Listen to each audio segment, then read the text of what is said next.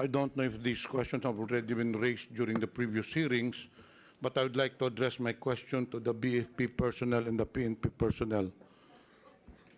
After the guests and employees were evacuated, who were the first personnel who entered the premises of Resorts World?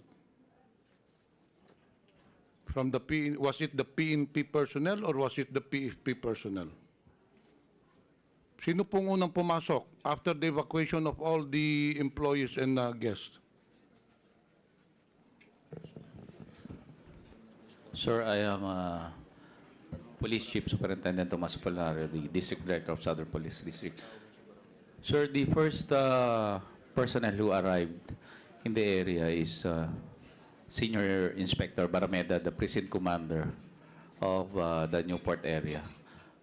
Uh, when I arrived a few minutes later, his uh, personnel were already securing the area and some of them were already inside and there were already fire trucks. So No, my question is not who was the first on the area. Who first entered the premises? Yun po ang tanong ko. Yes, sir. The team of uh, Senior Inspector Barameda, sir. Were Oh, the is first that a- PNP ah, personnel. PNP who- yun. Yes, sir. So yung BFP, eh, kailan na pumasok? Sir, I, I will, I think the BFP and Senior Inspector Barameda can, can answer that. You know what? I'm asking this question because this is very important because this representation has received reports that there were some looting of the valuables of the victims. In fact, during the hearing at NAIA 3, one of the BFP personnel testified that on their way up, they encountered a, an unconscious person and at that time, meron pang relo. But when they came back, wala nang relo.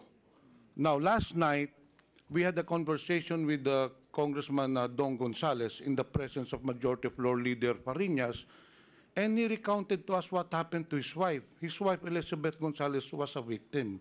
According to Representative Gonzales, his wife had a watch, which is a Rolex, and some jewelries, which are missing already.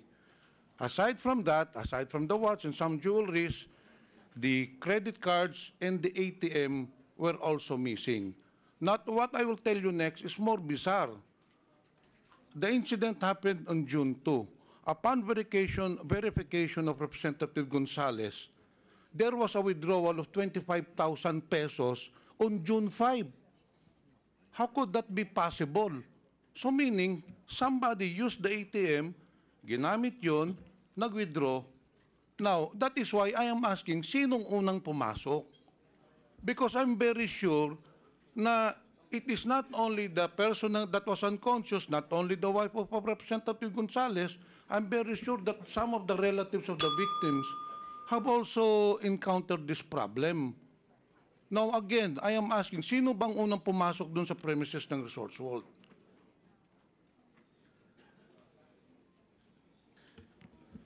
Sir, the units who retrieved or who conducted search and rescue at uh, around 5 a.m. already, sir.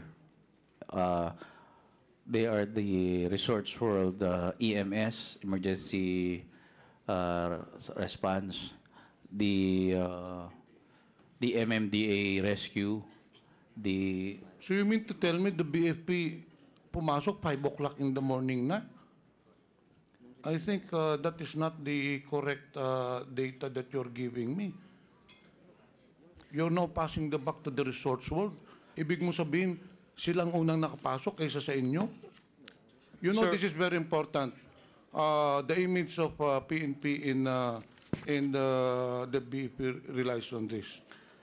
Maraming looting talagang nangyari. Now, uh, Mr. Chair, can you please give me another uh, minute? I'd also like to ask the Resorts World, have you done your accounting already? Did you lose some valuables, cash of uh, Resorts World? Kasi alam natin doon sa gaming table, merong mga clients na nagpapapalit ng cash sa chips, nilalagay doon sa gilid, hindi po ba? When the shooting began, I'm very sure that all of the uh, employees lumabas na. So yung mga cash na iwan doon, ah, may nawalan ba na cash? Um, Your Honor, uh, we have not uh, gotten back into the uh, yung sa second floor no kasi uh, crime scene pa ho siya, hindi pa na ho na to turn over sa amin. La- Last manifestation, Mr. Chair. I Yes, think please. this, this matter should be properly investigated. We should uh, ask also the other uh, relatives of the victims whether what happened to the wife of uh, Congressman Gonzalez also happened to them. Thank you very much. Thank you very much, the Honorable uh, Pimentel. We will do that.